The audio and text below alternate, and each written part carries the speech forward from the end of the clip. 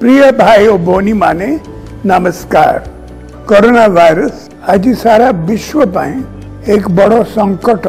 भाव देखा दे संकट द्वारा आमर गरीब लोक को जीवन जीविका विशेष भाव प्रभावित तो होमर गरीब लोक को कल्याण पाए मु आज बैश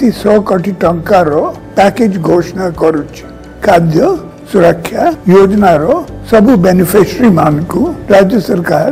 तीन मास राशन आगुआ दे खाद्य सुरक्षा योजना रो समस्त 94 लाख परिवार को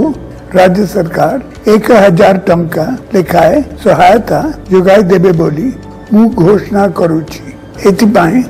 940 कोटी टंका खर्च हेबो हमरो विभिन्न सामाजिक सुरक्षा योजना रो 48 लाख